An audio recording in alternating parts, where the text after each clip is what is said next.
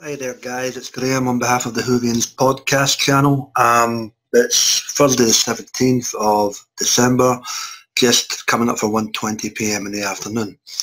And I figured it best to make a quick recording to give you some kind of update to try and elaborate a little bit on what's went down with the channel over the past 18 hours or so. Uh, basically, yesterday, folks, um, I uploaded this week's recorded audio Who to the channel. Um, our buddy Jimmy went in to add the finishing touches and subsequently make the, the video public. That was done. Uh, our Twitter administrator then, our good buddy Lee, then shared the video over the entire internet, as you do, as is customary each and every week, um, a little after 8pm last night. Uh, and then around about 9pm UK time, uh, Eastern Standard Time, roughly about 4 p.m. for you guys in the States.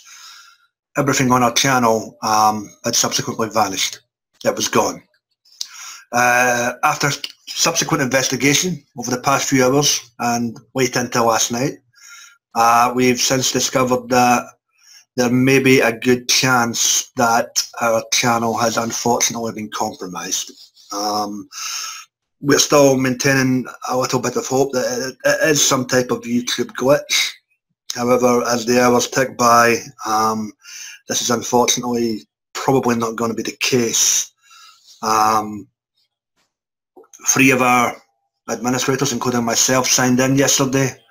Um, we've subsequently found out that one of our buddies who was supposedly on that list uh, wasn't home. So, um, compromisation does look a very, very distinct possibility, unfortunately, folks. We are in the fortunate position that when it comes to our episode reviews and uh, 60 second things, um, the videos are backed up. Um, we will endeavour to get them back online with you uh, if we have to start afresh, as it were.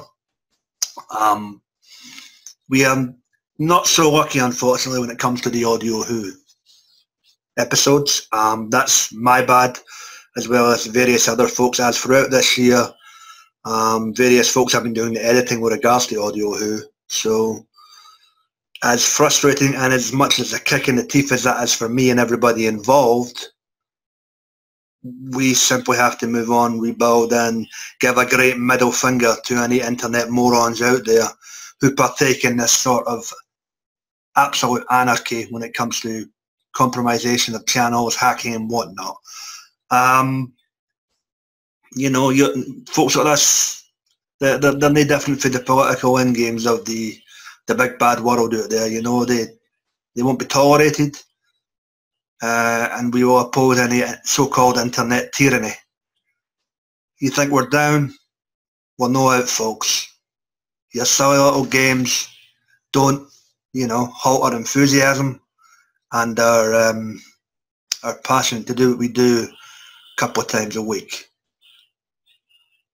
You know, you can sit there and laugh behind your keyboard, but we continue to do what we like and what we enjoy.